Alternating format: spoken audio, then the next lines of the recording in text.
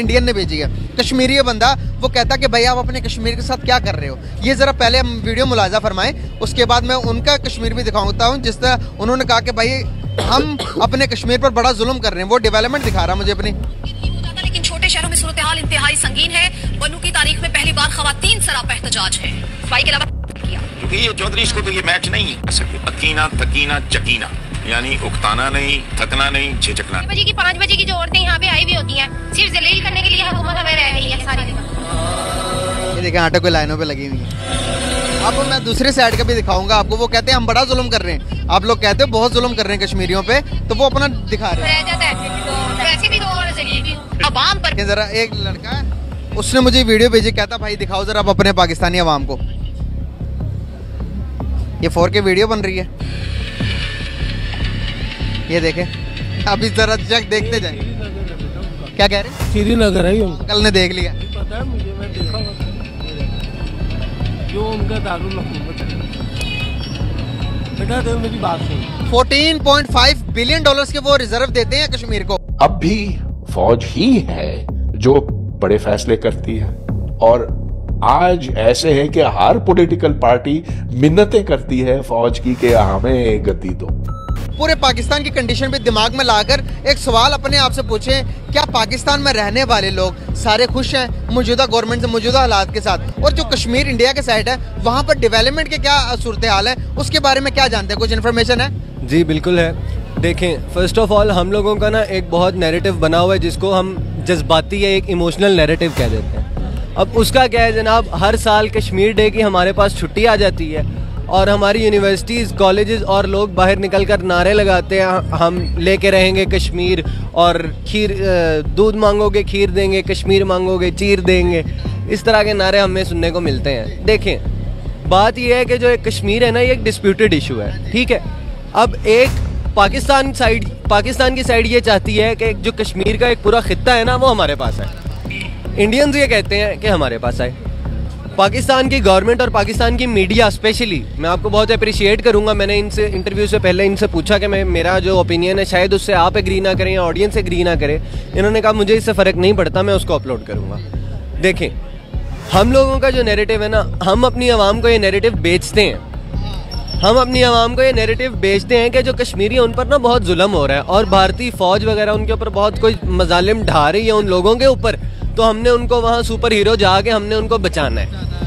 अब जो इंडियंस हैं पैरेलल उनका भी मीडिया सेम इसी तरह है। उनका मीडिया वहाँ जाके ये नैरेटिव बेचता है कि जनाब जो पाकिस्तानी आतंकवादी हैं, पाकिस्तानी आतंकवादी वहाँ जाकर घुसपैठिए, वहाँ आकर और कश्मीरियों पर जनाब बहुत जुल्म ढा रहे हैं और हम उनको प्रोटेक्ट कर रहे हैं इन पाकिस्तानी आतंकवादियों से। अब हमें इसका एक मिड पॉइंट देखना है। हमें देखना है कि जो कश्मीरी हैं, वो कश्मीरी क्या चाहते हैं? ए, क्या वो रेफरेंडम चाहते हैं? बी वो पाकिस्तान के साथ आना चाहते हैं, सी, वो इंडिया के साथ जाना चाहते हैं। अगर हम कश्मीरियों से पूछें तो कश्मीरियों का आप पूरे स्टैट्स निकाल कर देख लें। नहीं तो जम्मू और कश्मीर के किसी शख्स किसी शख्स का कोई इंटरव्यू अनबायस्ड इंटरव्यू अगर आपको मिले, जो कि बहुत मुश्किल है मिलना, अगर आपको मिले, मैंने पर्सनली भी बात की हुई है उनसे। वो ये कहते हैं कि, यार देखो, हमें ये फ़र्क नहीं पड़ता कि हम इंडिया के साथ जा रहे हैं या पाकिस्तान के साथ जा रहे हैं। All we want is peace हम ये नहीं चाहते कि जनाब दो कंट्रीज़ हमारी सरजमीन पर आकर हमसे लड़ रही हैं। एक डिस्प्यूटेड हमें बनाया हुआ है टेरिटरी कि जनाब वो कह रही हैं, हम लेंगे, वो कह रही हैं, हम लेंगे। आप पेपर टॉक्स के ज़रिए कोई एक मिड पॉइंट निकालें, आप एक मिड पॉइंट निकालें, अगर अलहदा फैक्टर बनाने पे उसका रेफरेंडम नहीं करवाया गया इंडिया की तरफ़ से इंडिया ने कुछ इलीगल हरकतें की हैं, जिसकी वजह से हम उनके खिलाफ नारे भी लगाते हैं और जो हमारे जायज़ हैं लगाना।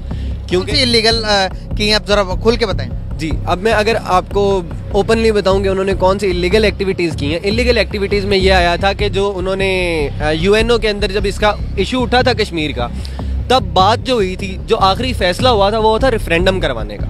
कि रेफरेंडम होगा और अगर कश्मीरीज इस सपोर्ट में आ गए कि जनाब, हमने इंडिया के साथ जाना है तो वो इंडिया के साथ चले जाएँगे। सबसे पहले रूल भी तो हमने दो नहीं माने ना।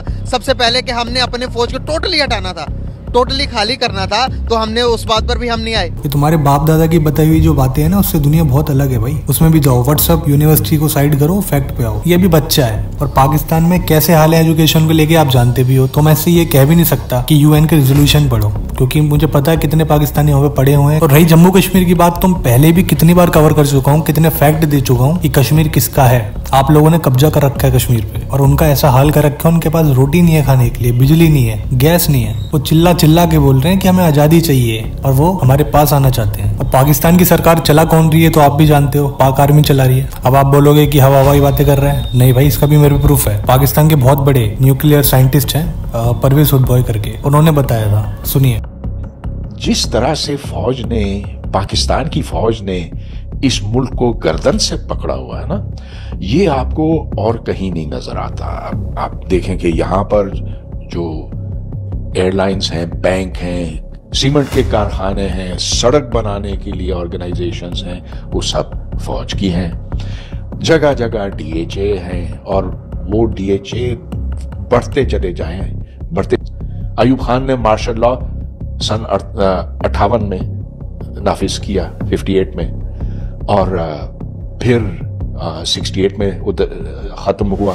उस दौरान इतनी खराबियाँ पैदा कर दी फौज ने कि हमसे मशरकी पाकिस्तान अलहदा हो गया सन इकहत्तर में। क्योंकि अयूब खान के बाद याया खान आया। फिर उसके बाद दो और मार्शल लॉ लगे। अब भी फौज ही है जो बड़े फैसले करती है। और आज ऐसे है कि हर पॉलिटिकल पार्टी मिन्नतें करती है फौज की कि हमें गति दो। तो सुना तो बात ना जब करो जब तुम्हारे पे प्रूफ हो ऐसे हवावाई बातें मत करो।